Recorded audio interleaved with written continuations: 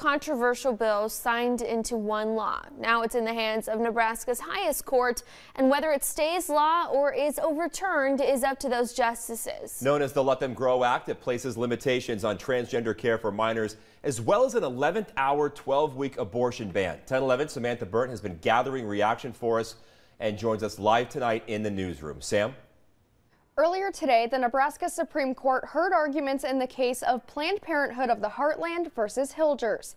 And in the coming weeks, the court will decide whether or not the law is constitutional. It's a balancing of purposes, and isn't that all legislation? Today, Supreme Court justices peppered both sides with questions about the constitutionality of LB 574 questions pertaining to the single subject rule, and if the bill with its amendment should be considered one subject or two. People don't call it uh, the health care bill or the public safety bill or the public health and welfare bill. They say it's a bill about uh, abortion and they say it's a bill about gender affirming care, and that's because it's two things rather than one thing.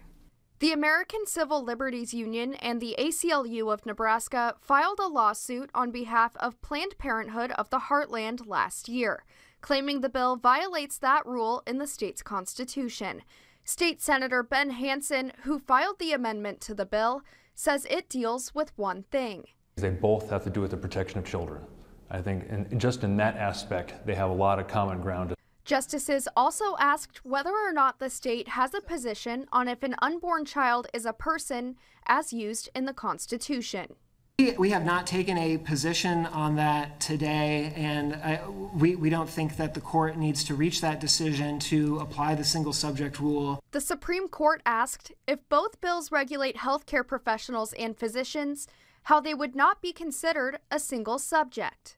The legislature itself treated these subjects as separate when it set up LB 574 and LB 626, and it, it pushed them together only when it was constrained to do so.